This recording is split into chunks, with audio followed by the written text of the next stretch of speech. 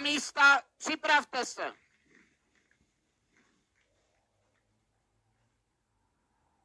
Pozor!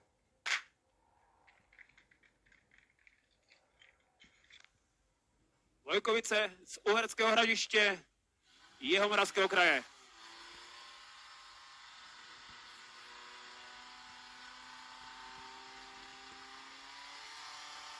To bylo načasováno poměrně pěkně.